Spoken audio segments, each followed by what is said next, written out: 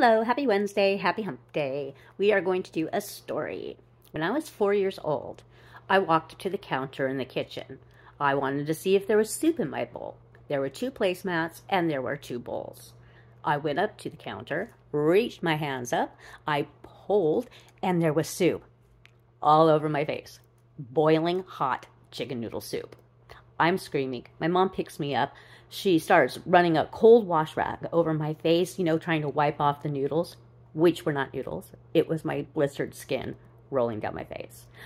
She had no way of taking me to the hospital. She had to wait until my dad got home.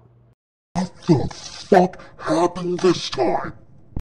They washed my face with soapy iodine and, and, and soap and they scrubbed it and I was screaming. God, I remember it so vividly.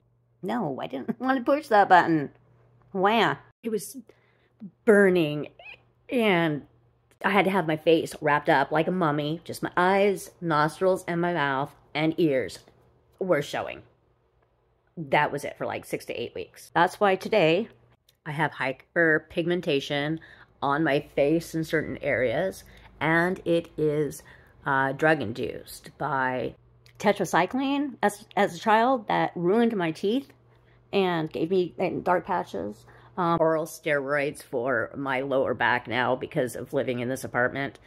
So the moral of the story is I felt so bad that I put them through that.